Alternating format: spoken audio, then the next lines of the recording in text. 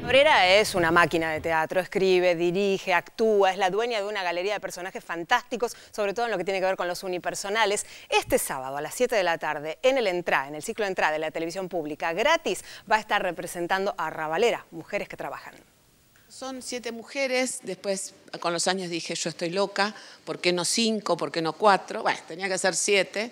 Y yo salía del Club de las Bataclanas y tenía que modificarlo. El Club de las Bataclanas tiene peluca, vestuario, maquillaje y entro y salgo y colores. Y esta es como en blanco y negro. El universo es el país, eh, su perpetuo derrumbe y su, perpetua, perpetuo despegar es eh, los militares, los ministros de Economía, lo que estuvo, como estuvo eh, cruzada y atravesada mi vida. En ese universo que se arma, que es casi como una obra para extranjeros, que empieza diciendo ahora Argentina es un país ganadero, hay tantas vacas y todos datos del manual del colegio, lo que, lo que nos sucedía, cómo llegamos ahí y estas mujeres que hay que no son, digamos, estereotipos, ¿verdad?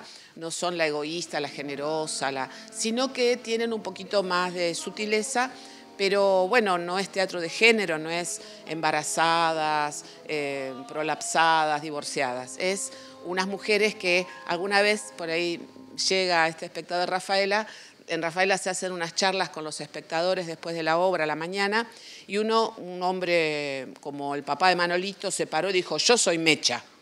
Este, y otro flaco que estaba al lado, que van siempre la máscara, dijo, y yo soy la chola, que todo lo ve mal. Y fue, para mí fue el éxito de mi vida, ¿no? Ese 2008, 2009, en que estos dos hombres dijeron que eran eh, esos personajes sin importar el género.